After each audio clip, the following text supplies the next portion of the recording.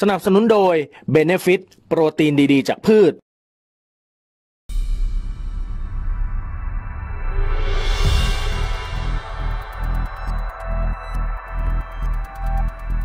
ทนายความศูนย์ทนายความเพื่อสิทธิมนุษยชน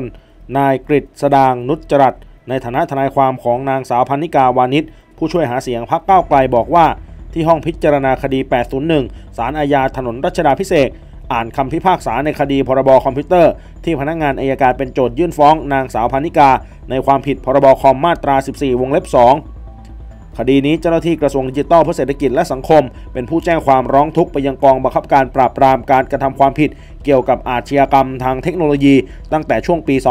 2564กรณีนางสาวพรรณิการ์มีการโพสต์ข้อความสมัยเรียนหนังสือที่มหาวิทยาลัยจุฬาลงกรณ์ในช่วงปี 2556 ถึง 2557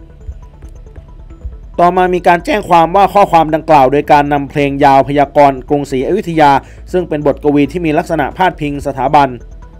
ศาลได้วิเคราะห์พยานหลักฐานโจทย์และจำเลยแล้วเห็นว่าการกระทำของจำเลยไม่เป็นความผิด ตามความผิดพรบคอมพิวเตอร์ที่โจทย์ฟ้อง เพราะไม่ใช่การกระทำความเท็จเข้าสู่ระบบคอมพิวเตอร์ โดยประการที่จะก่อความเสียหาย หรือตื่นตระหนกต่อสังคมแต่อย่างใดโดยข้อความทั้งสองข้อความที่โจทย์ฟ้องจำเลยมานั้น เมื่อพิจารณาแล้วพบว่าไม่อาจเป็นความผิดตามพรบคอม ตามที่โจทย์ฟ้องได้เลย เพราะทั้งสองข้อความไม่ได้เป็นกรณีที่จำเลยเจตนาจะนำความเท็จ มาเผยแพร่ให้ประชาชนเข้าใจผิดนอกจากนี้แล้วโดยในร่างคำพิพากษายังมีการอธิบายด้วย ว่าข้อความแรกนั้นเป็นการประชดประชัน เปรียบเปรยถึงสถานการณ์บ้านเมืองในขณะนั้น และข้อความที่ 2 ก็เป็นคำทำนาย เพลงยาวพยากรณ์ ซึ่งสาธารณชนทั่วไปรับรู้อยู่แล้ว มีการเผยแพร่และตีพิมพ์ทั่วไป